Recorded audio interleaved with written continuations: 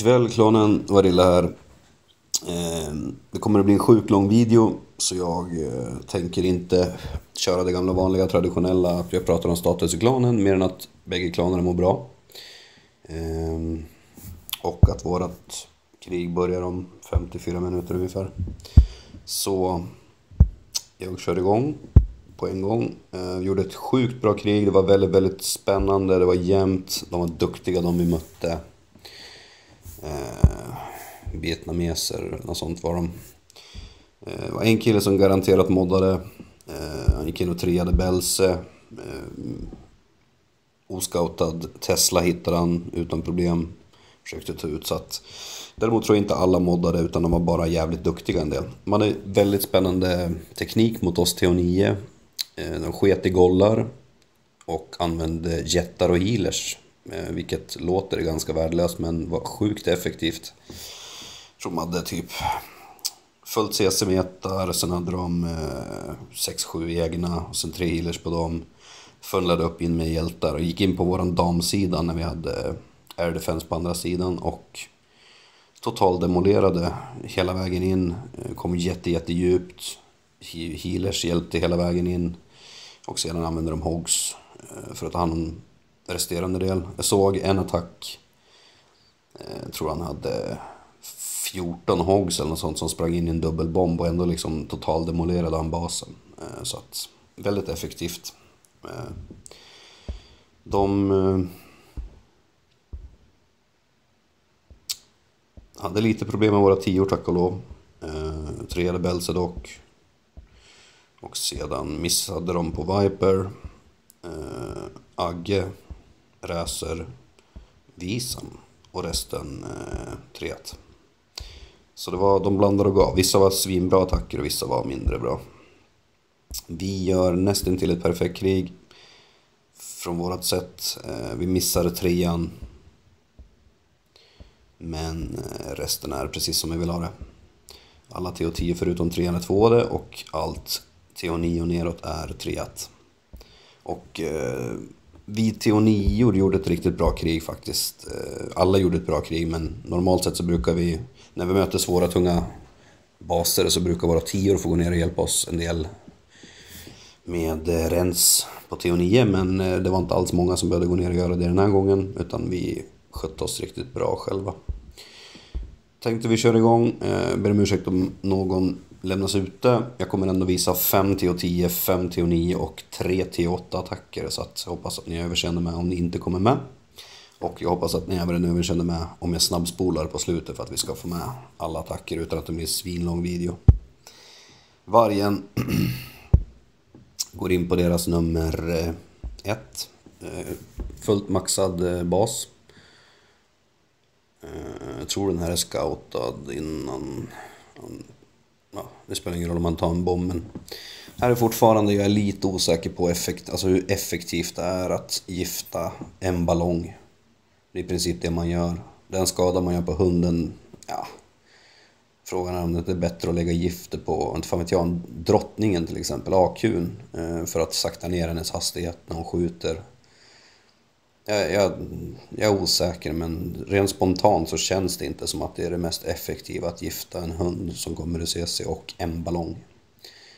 Eh, man får väl se giftet inte som primärt någonting som skadar utan primärt någonting som saktar ner.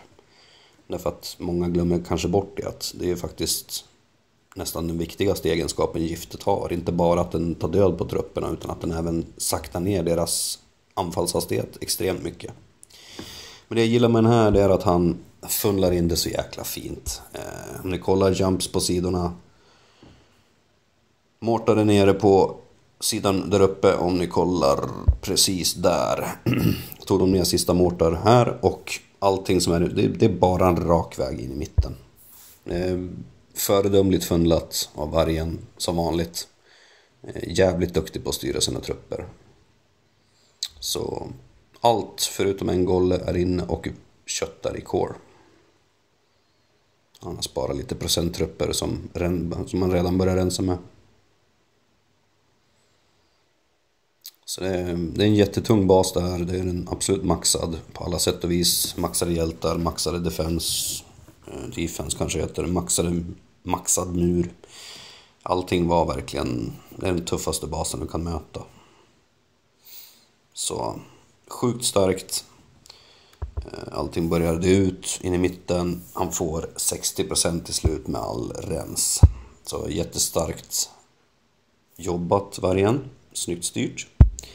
Eh, jag tänkte att vi skulle kolla på Christer, som går in och tar ta en jättehög eh, procent på den här basen. Egentligen samma sak här, också jätte, jättefin styrning. Den här är en öppen bas, så trupperna kommer ju normalt vilja sticka iväg Eh, gillar öppningen, han släpper en hogg som tankar för wallbreaker som öppnar upp. Så han både lockar CC och spränger upp med en hogg och tre wallbreakers, eller om det var fyra. Det var en jättefin öppning. Eh, Jag tror han står och tänker nu och han väljer att inte lägga giftet på CC. Jag undrar om det var det han funderade på att han skulle göra. Jo då, han lägger det där borta ändå. Ja. Giftet var väl inte fantastiskt. Det Gjorde inte så mycket nytta. Men återigen, jag tror att ni TO9 har större nytta av giftet på... När ni kommer in mot kår, alltså när hjältarna kommer och när eh, skelettfällorna poppar ut. Jag tror att, eh, för det, det är ju oftast då som de här peckorna och kungen, de som gör väldigt mycket skada med en smäll, står och vevar skelett. Eh, kan man lägga ett gift på skeletten och AQ till exempel samtidigt AQ hinner ju göra ganska mycket skada normalt sett. Kanske inte nu när han har fri väg fram till en att veva på men... Eh, Medan jag har babblat på så har ni sett att nästan allting har gått in jätte, jättefint in i mitten. Eh, han har med sig Hogs som jag inte tror att han fick så mycket för dessvärre. Ja, det var ingenting som tankade dem. Eh, det var en golle som, som de sprang ifrån helt enkelt. Så jag tror de hann ta ut en eller två, två eller tre försvar kanske.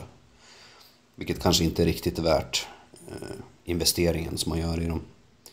Men jag gillar att eh, man blandar in lite specialtrupp. Alltså för det, menar det, ska man lyckas trea en bas, en sån här TO10, då, då måste man ju ha en hybridarmé av något slag. Alternativt vara fantastiskt duktig på Golalon. Eh, allting började ut, han är redan över 70%, gollar, Pekka lever, och eh, renstrupper. Så sjukt fin attack. Christer, jättebra jobbat av den där. Eh, jag tänkte att vi ska kika Oscar som eh, tar en tia som är högre än han. Den här layouten är gjord för att man ska ta vägen egentligen in nerifrån men Oscar väljer att spränga upp här uppe istället och ta den vägen in. Och på så sätt så undviker han jävligt många av point defense som finns i den här basen. Jag satt och kollade lite på den attacken och tyckte att det bara var så jävla synd att Archer Tower som är eh, klockan, vad blir det? Inte nio utan klockan tio precis under Army Camp där kommer att döda väldigt många trupper. Det är synd att han inte hade en jätte eller någonting att släppa mot det. Nu när Wizards kommer här för att den dödar i princip alla Wizards som finns där. Mm, sju, åtta stycken. Plus att den även skjuter in i mitten sen. Men det är petitester i sammanhanget. Det är sånt som jag sitter och ser bara, som jag stör, stör mig på lite grann. En jätte där och Wizards hade förmodligen hunnit fram till eh, Archer Tower och ta ut det. Tagit lite extra procent. Men styrningen är fantastiskt fin. Eh, även här, smart väg in. Theo redan nere. Eh, AQ har inte blivit rörd än. Hon har tagit ut halva basen själv i princip. Så jättefint anfall även här. Jag kommer inte visa så mycket mer, det vart 66% utan det är just själva hur man väljer att gå in som TO10 som jag tycker är fascinerande. För det gör en så stor skillnad i attackerna. Eller i procenten rättare sagt, hur det går. Floppar tofflan, samma här. Fundlingen är jättebra. Han lägger tre jump och han släpper två gollar och wizards bakom de yttre. De som han vill ska funnla upp. Och eh, Tänk på hur länge han avvaktade med, ja, var inte så jävla länge, men han avvaktade en stund i alla fall med att släppa trupperna in på vad heter det, den centrala jumpen där. Och tanken är ju såklart att de ska hinna fundla bort på sidorna, de som går där, och eh, så att de andra har rak väg in. Eh, han har fortfarande inte släppt sin kung. Där släpper han den och det är också för att säkerställa att kung, han vill, han vill ha så mycket DPS som möjligt in i mitten såklart och eh, kungen är en av de viktigaste pjäserna att få in. Framförallt om inte annat för att ta ut AQ. Nu tror jag att den här stack, eller kungen drog iväg ändå på en liten utflykt runt men tanken var att den skulle gå in och göra så mycket skada som möjligt där inne. Men han får in tillräckligt, han får in flera gollar, AQ står bakom och vevar, gör det hon gör bäst så att spida på den lite. Jag gillade hur han eh, avvaktade med centraltrupper om man ser. Återigen bara för att bestryka vikten av att fundla ordentligt och styra trupperna centralt. Jag tycker även att Belze förtjänar att visas. Hög tvåa. Han gör en liten annorlunda. Jag trodde först att han gjorde bort sig lite där när jag kollade men han vill ju få, han styr in allt centralt men på ett jävla annorlunda sätt. Släpper hälften av sina gollar och tungt med eh, Wizards för att gå in och röja så mycket som möjligt. Och sedan går han in från klockan sex med resterande tre gollar. Och funnlar upp även där. Har fortfarande inte släppt sina heroes. Spränger upp där och ser till så att allting går in. Och nu kommer hjältarna Återigen, jag gillar att släppa AQ mycket tidigare. Eh, så länge gollarna är framför och tankar kan man släppa henne nästan på en gång efter dem. Därför att hon hinner göra så förbannat mycket skada innan. Jag menar varje skott är ju enormt mycket skada. Men om ni kollar funnlingen nu så ser ni att exakt varenda trupp i princip går in centralt. Så jag varit imponerad över styrningen på just hur han hade planerat att de skulle gå in den här vägen. Så um, All DPS där inne, AQ orörd. Allting står och tankar precis som det ska. Redan två star och resten är bara bonus.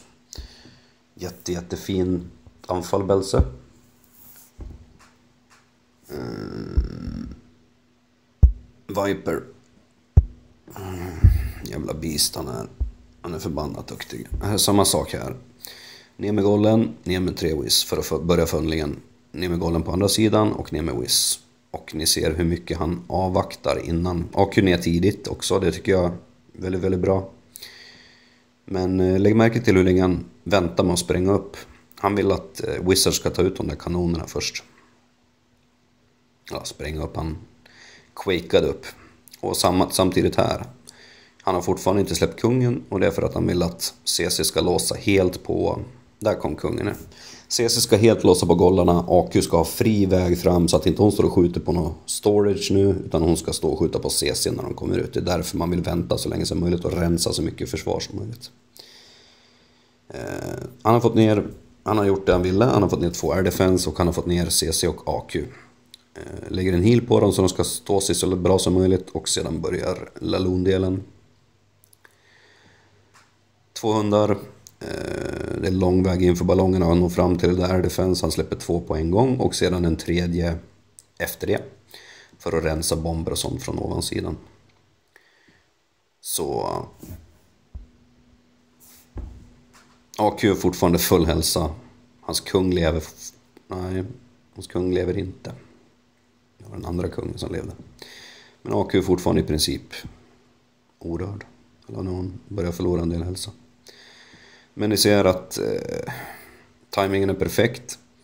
Hundarna poppar ganska exakt lagom som eh, ballongerna kommer fram till sista air defense. Och han har massor med ballonger över och, och ja, inte massor med pups men ordentligt med pups i alla fall tillräckligt. Så riktigt, riktigt grymt anfall och AQ lever fortfarande för ens. Så eh, total demolerar den där basen, sjukt snyggt anfall, bra jobbat Viper.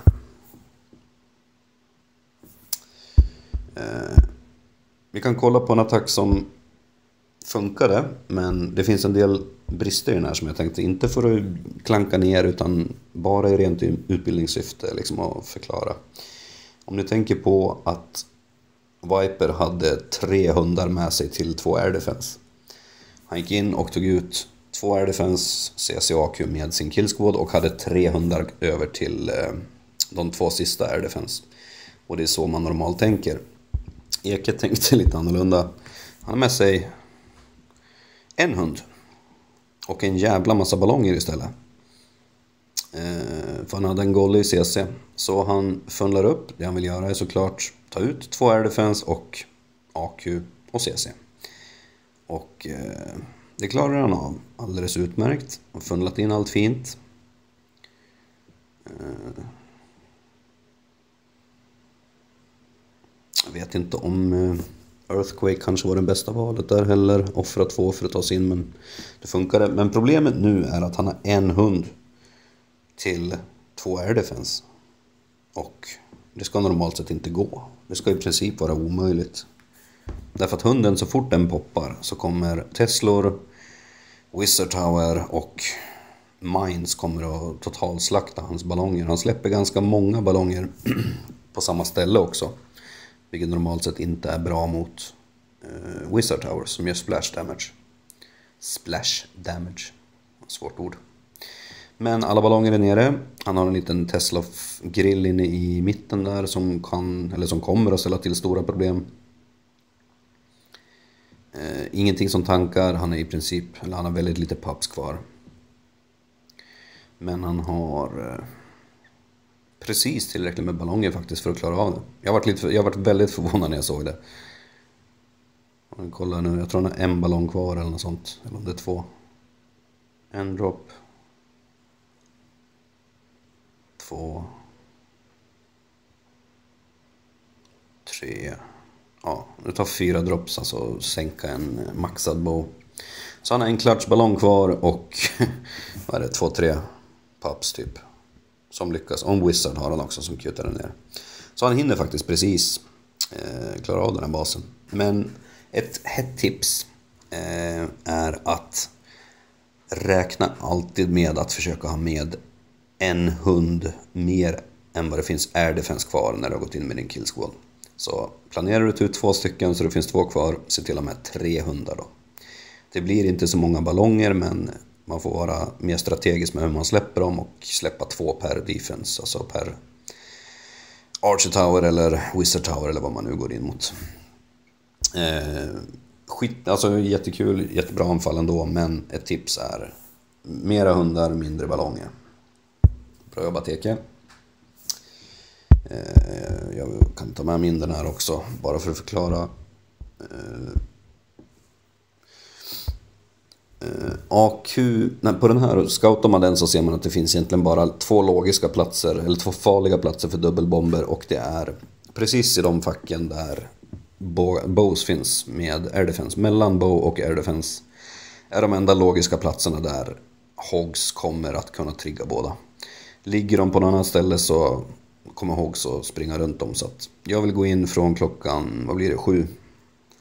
Och nå alltså poppa bägge de platserna med min killsquad och jag vill även nå in till AQ som står ganska djupt in. Och här ser ni nackdelen med att ha AQ centrerad. Jag kan välja från vilket håll jag vill gå in och det är ungefär lika långt. Jag kan, det här är den längsta vägen som jag går in nu och det är ändå liksom ingen större risk att jag inte ska nå henne. Eh, och på det sättet kunna poppa bomberna på vägen. Och det vill man ju definitivt undvika som eh, när man bygger en bas som ska vara bra mot hogs. Så Undvik att ställa AQ centralt därför att då kan anfallaren välja vilket håll han ska gå in ifrån. Så jag tog med fyra Valkyrior extra just för att säkerställa, för de är fantastiskt bra på att döda eh, hjältar. Om de låser på en hjälte och börjar veva så då dör de väldigt, väldigt fort, spelar ingen roll om det är kungen eller drottningen. Så, jag börjar funnla upp med eh, minions ute på kanterna. Jag vill ha väldigt bred funnel så att inte Valkyriorna sticker iväg. Och hjälper dem även med lite wizardsen. Och ni ser att jag sparar byggnaderna framför där jag vill gå in därför att det blir som brödsmulor som mina trupper kan följa in om man säger så. Så nu är det en extremt bred funnel. CC på väg ut. Jag har fortfarande inte släppt min kung eller mina... Där kommer Valkyrierna. En test Valkyria först för att se så att hon går rätt och sen de övriga bakom.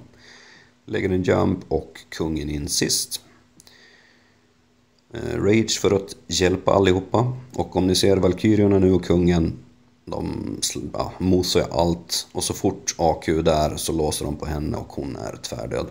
Så redan så fort jag hör henne skrika så börjar jag skicka in mina hogs. Det är liksom signalen för mig. Nu kanske jag var lite tidig för nu finns det papp som lever men... Eh, tanken är att få dem att gå runt ja, varvet runt och lägga en ganska sen heal där. Och sedan fylla på med hogs mot de där tre pointerfen som står bakom. För att sedan allihopa gemensamt ska ta sig över på andra sidan. Vart inte riktigt så. Eh, jag lägger min poison för att ta död på den där sista pappsen som är lite irriterande. Och sedan sista heal som jag vill att de springer in i. Han har Tesla på lite bökiga ställen men jag har tre hogs kvar som jag skickar in mot en utav dem. Och jag får ganska mycket hogs över. Så jag hade bara två heals nu eftersom jag ja, var rätt säker på att jag skulle poppa bägge. Minst en dubbelbomb skulle vara borta i alla fall. Och eh, jag visste även att det skulle vara rätt bra tankade i och med att det är en ganska kompakt bas ändå. Så mycket som skjuter in mot det som är i mitten. Så väldigt många hogs över och AQ lever. Så den attacken är jag nöjd med. Eh, uh, Machnus skulle vi kika på. Här är också lite synpunkter på attacken, ska vi se. Han börjar med en hogg för att locka CC.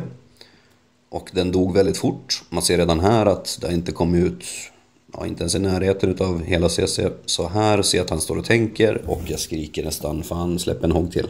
I det läget är det bättre att offra en hogg till för att få ut hela CC.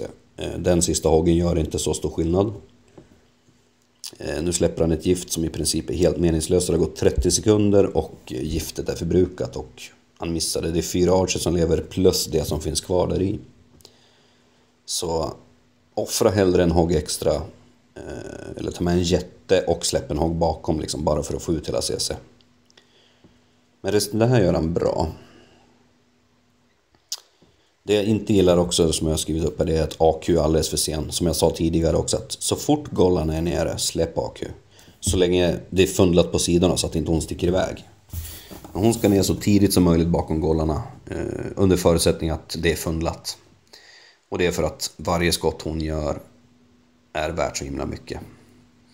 Men han följer upp väldigt fint, allting har gått in. Eh, häxorna gör ett väldigt, väldigt bra jobb. Och sedan börjar han sin hoggning. Där smäller ena dubbelbomben. Ett hot borta. Däremot så är det ett väldigt stort hot borta här vid andra sidan mellan eh, Air Defense och Wizard Tower. Och det han försöker göra nu, som jag tror, det är att poppa den ena av dem. Alltså att den gruppen som går in mot Wizard Tower där ska poppa den ena, men det gör de inte. Däremot så har han en ganska tur att en hogg springer och triggar den ena och sedan kommer den större gruppen bakom. Så att han var väldigt snabb med en heal till här. Ehm, och han har en till så den bör han ja, lägga ganska fort. Där ja. Lite längre upp hade nog jag lagt den. Men eh, den ligger där den ska. Den gör sitt jobb och det blir en trea. Tänk dock på AQ ner så fort som möjligt under förutsättning att hon inte sticker iväg, alltså hon ska inte dra ut och shoppa.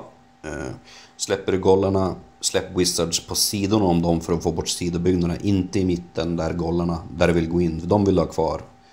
Och sedan ner med AQ så fort som möjligt så att hon hinner börja skjuta. Eh, och även, får inte du hela CC och du har möjlighet att få hela CC, det vill säga att det inte är någon... Att det har börjat komma ut, offra hellre en hogg till i sådana fall då. Det gör du stor skillnad. Men bra anfall match. Oh, vi kollar på Funech, eller Jin Shuriki, hans minikonto. Han har börjat lona lite grann och det är rätt kul att se tycker jag. Här gör han det som jag pratade om förra gången, att en jätte för att tanka och en hogg för att dra ut hela CC. Så där fick han ut alla archers och även drake. Vilket gör att hans poison gör väldigt mycket mer nytta. Eh, Börjar tidigt med att släppa sina quakes där nere för att öppna upp. Kör en eh, maxattack.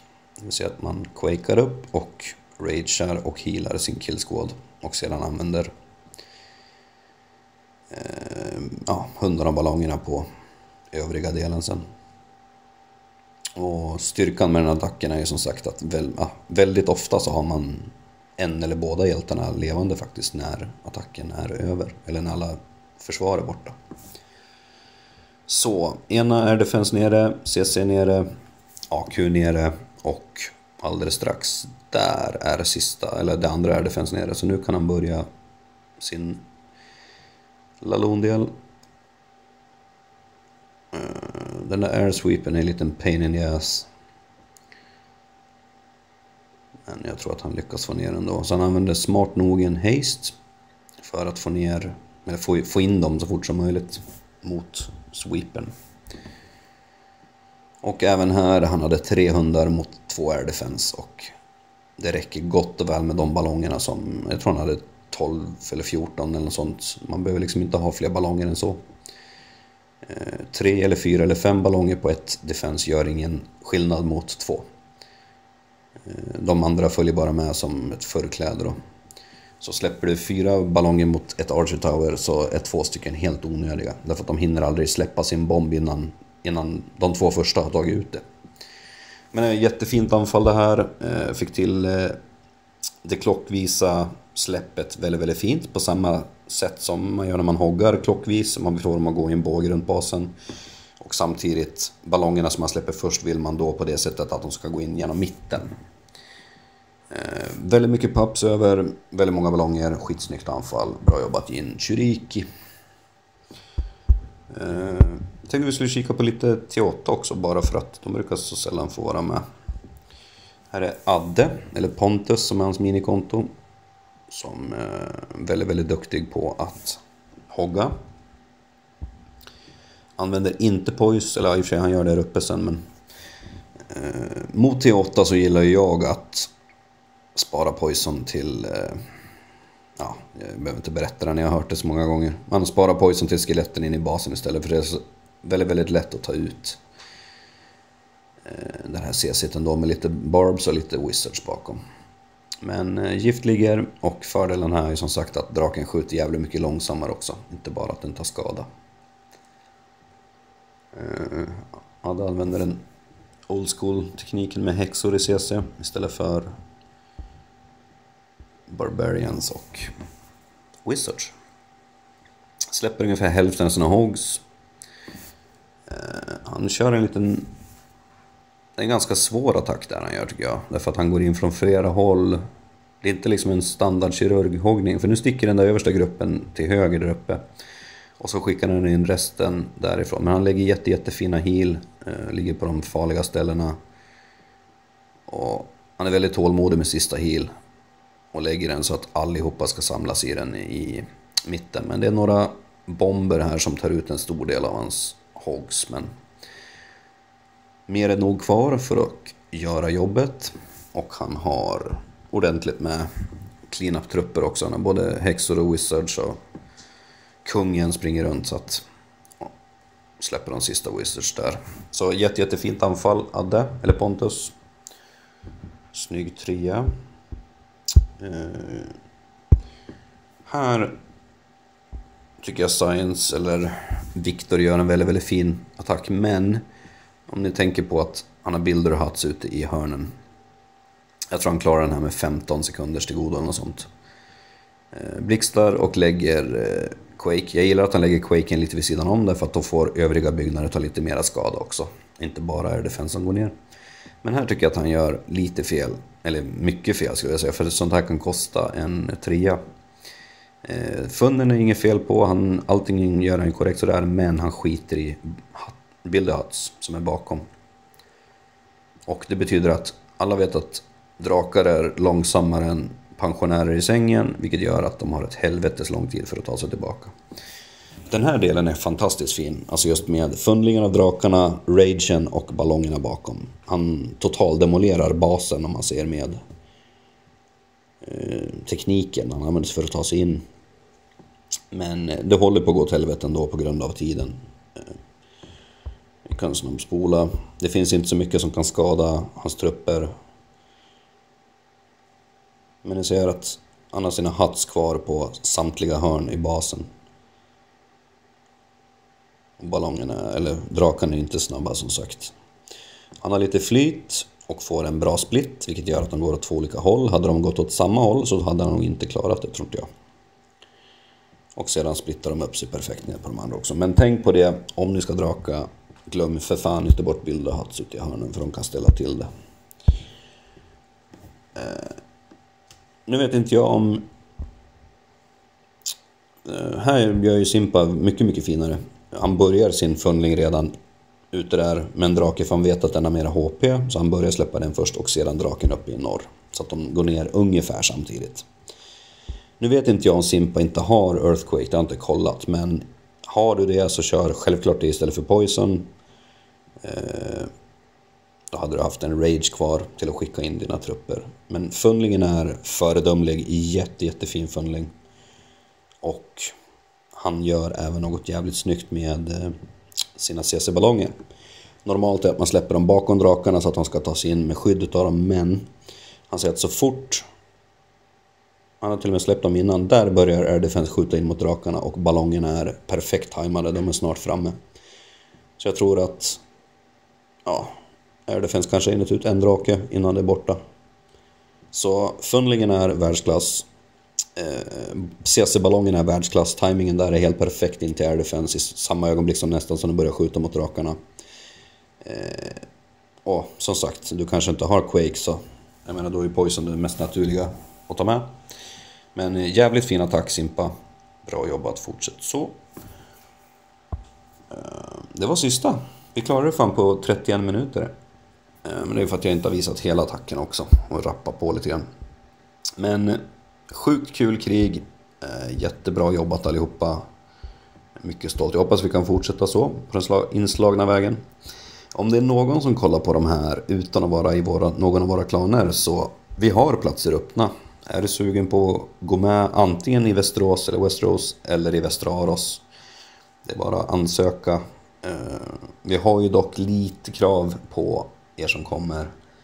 Vi har i Westeros så har vi önskemål eller nästan ett krav att ska man komma som T8 så vill vi att man har maxade hogs och maxad heal så att man kan hogga och kommer man som T9 så vill vi att man har fullt anfallsalternativ på både Golaloon, det vill säga maxade hundar, ballonger och även eller maxade hogs och Heels.